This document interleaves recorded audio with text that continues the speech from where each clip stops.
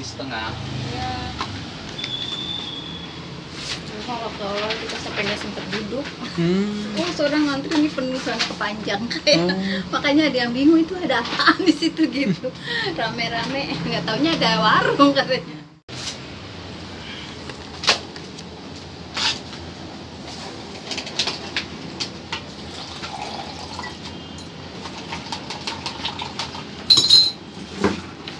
Yang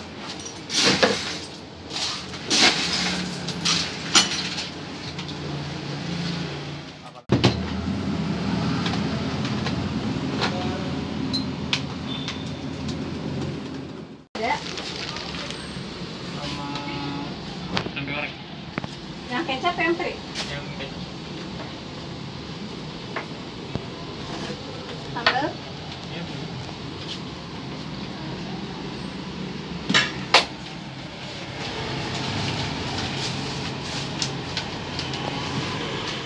Ini waktu awal pandemi sih eh, kita susah banget ya karena juga mau ditutup. Hmm.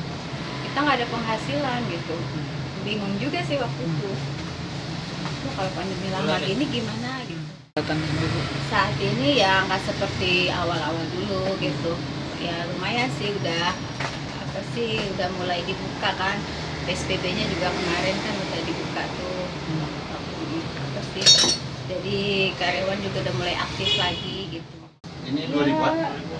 Kira-kira ya kadang-kadang 25 macam gitu. Hmm. Heeh. Itu nyiapin dari jam berapa tuh? Jam pukul berapa? kita biasanya hari ini disiapin untuk masak besok pagi gitu jadi setiap hari kayak gitu terus Hmm.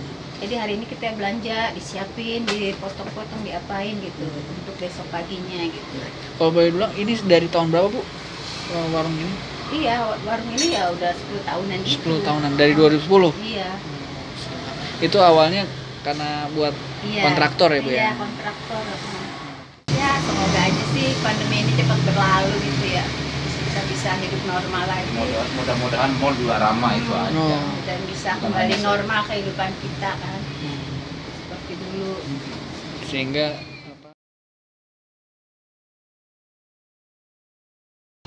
nasi pas nasi setengah. Ya cuma waktu awal kita sampai nggak sempat duduk. Hmm.